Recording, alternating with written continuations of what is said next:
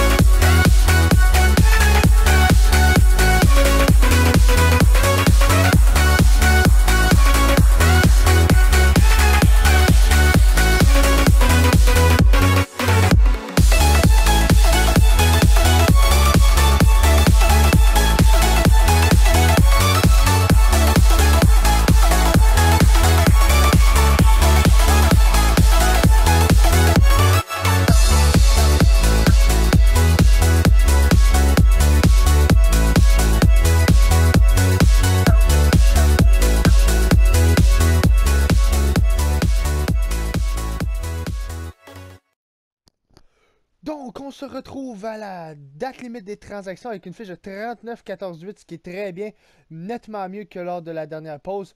Vous voyez ici, ici la fiche et la fiche du mois de janvier. Très bonne fiche encore pour le mois de janvier. Et pour le mois de décembre, très bonne fiche pour le mois de décembre aussi. Donc, on va aller voir les stats. Et ensuite, on va peut-être aller voir pour un allié et on va se laisser. Donc, stats d'équipe. On est premier dans notre division, ce qui est très bien. Dans la conférence, on est premier aussi avec 86 points. Donc, ce qui est... Oh, c'est beaucoup d'avance, là. Quasiment 20 points d'avance. Donc, ça, c'est très bien. Et dans toute la ligue, on va aller voir qu'est-ce qu'on a amélioré. Donc, but pour par match, on est rendu 1, 2, 3e. Donc ça, ça s'est amélioré grandement. Et but contre, on est premier. Donc, wow, très bien. Power play, on est 1, 2, 3e. Et penalty kill, on est... Attendez. 1, 2, 3, 4, 5 encore. Donc, ça va très, très, très, très bien pour les Canadiens de Montréal en ce moment. On va continuer de checker les stats des joueurs. 54 points en 61 matchs pour Galchenyuk, c'est bon. Pacioretty 53, Timashov 49, donc ça c'est tout bien. Subban 47, mais on veut juste les attaquants. Euh, Udon 47, c'est bon. Forsberg 45, c'est bon. Malkin 41, mais il est rendu maintenant 81. Donc ça, ça va pas très bien pour Malkin. Il continue de baisser. Sakic 27. Delarose 19. Paul 16. Dubois, Heller et McCarron. Et défensivement, Subban, Ralston, Jelina, Odette, Marison et Pelech. Et dans les filets, Carey Price, toujours aussi fort comme d'habitude. Maintenant rendu 1,89 cependant. Donc tout le monde baisse. Et personne ne monte. Donc, proposer un échange. Proposer un échange. On va aller voir les équipes qui sont prêtes à donner. Donc, marché des patineurs. Donc, rien. Là, de, euh, Coyote, rien. Boston. Milan Lucic à Boston, mais oubliez ça. Impossible que j'aille pour Milan Lucic. Impossible. Buffalo, non. Caroline, non. Columbus, non. Calgary, non. Chicago, non. Colorado, non. Dallas, non plus. Détroit, non plus. Edmonton, non. Fly, euh, Flyers, Panthers, non. LA, non. Minnesota, personne. New Jersey, personne. Nashville, oh, Nashville à Bourque. Donc Bourque pourrait être un choix envisageable pour remplacer Evgeny Malkin. Je vous montre ses stats et ça serait faisable. Regardez sa valeur d'échange. Ça serait très faisable. Bon, ah, ah, il est parfait. Donc Bourque, je pense que dans le prochain épisode, on va aller chercher le Grabner, non. Rangers, non. Ottawa, non. Philadelphie, non. Pittsburgh, ah oh, Crosby qui est maintenant rendu à 84. Donc, oh, ça, ça fait mal. San Jose, non. Saint-Louis, TJ Hoshi pour Saint-Louis, non. Tampa Bay, non. Toronto, Phil Castle pour Toronto? Ça pourrait être pas pire. Donc, entre Phil Castle et Bourque, là, à vous de décider. Vancouver, non. Winnipeg, Claude Giroux pour Winnipeg, Brian Little. Donc on a des choix là. Et Washington, désolé, j'aurai pas le temps. Et j'aurai pas le temps. On l'a skippé, c'est pas grave. Donc, les choix s'arrêtent entre Bourque, Phil Kessel et Claude Giroux. À vous de décider pour la prochaine épisode. J'espère que vous avez apprécié. Aimez, partagez et commentez sur ce. Bonne continuation. À la prochaine. Ciao, bye!